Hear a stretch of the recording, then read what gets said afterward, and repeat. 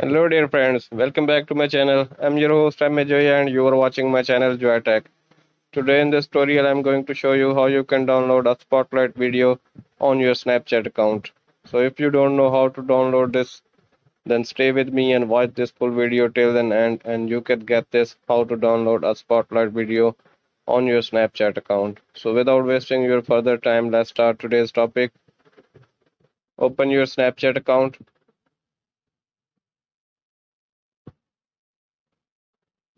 Now go at Spotlight videos.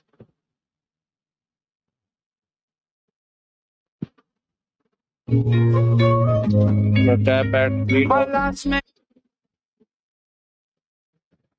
Now tap at send snap. made me feel like I would never.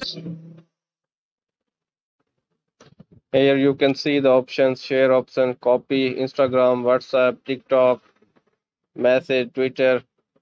At, at the end you can see the option download. Tap at download. Now your snap is downloading. Your snap was exported. Open your gallery.